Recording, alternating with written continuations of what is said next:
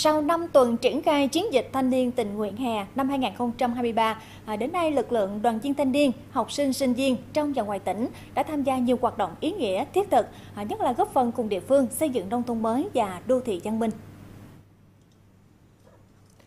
Thực hiện chủ trương ba liên kết, liên kết lực lượng, liên kết địa bàn, liên kết cộng đồng, đến nay toàn tỉnh có hơn 10.000 lượt đoàn viên thanh niên tham gia chiến dịch thanh niên tình nguyện hè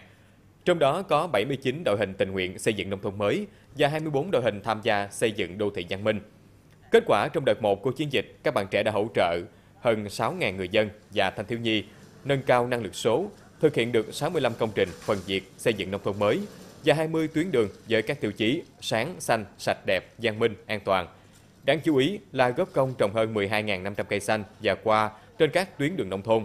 sửa chữa và làm mới gần 11 km đường giao thông nông thôn, xây mới 6 căn nhà nhân ái với phúc lợi xã hội hơn 600 triệu đồng.